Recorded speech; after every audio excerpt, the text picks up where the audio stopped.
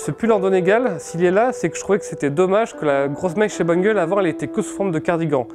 On s'est dit, il faut qu'on fasse un pull en grosse maille, et c'est pourquoi on a créé ce pull en Donegal. Donc c'est un pull en laine 100% mérinos évidemment, qui vient de chez Lané Cardaté, qui fait partie du groupe Vitale Barberis Canonico, donc il y a une grosse expertise sur la laine. Et donc c'est une laine qui est filée dans la région de, de Biella en Italie. Ce que j'aime avec cette laine et la manière dont elle a été tricotée, c'est qu'elle a un côté vraiment hyper réconfortant, très doux, très moelleux, qui est hyper agréable quand les températures baissent.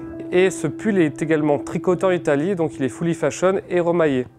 Alors pour rappel, le free fashion, c'est quand le pull est directement tricoté dans la bonne forme. C'est-à-dire qu'on ne va pas tricoter un grand pan de tissu dans lequel on va, on va couper le, pull et le coudre ensemble. Donc là, tout est directement tricoté à la bonne forme et ensuite les parties entre elles, le pan avant et le pan arrière du pull, sont connectés euh, avec une maille et sans couture.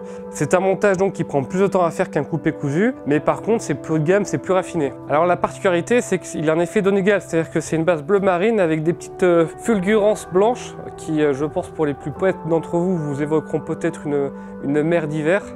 Euh, on voulait vraiment donner de la richesse visuelle à ce pull. Et il y avait l'Anna Cardaté qui avait ce, fil qui correspondait parfaitement à ce qu'on voulait. Ce qui me plaît avec ce pull, c'est, bon, en plus de ce côté graphique euh, qui change d'un pull bleu marine tout simple, c'est vraiment cette, euh, grosse maille qui a très bien été travaillée par l'Anna Cardaté, qui donne vraiment ce moelleux, cette douceur dans laquelle on a envie de se rouler dedans.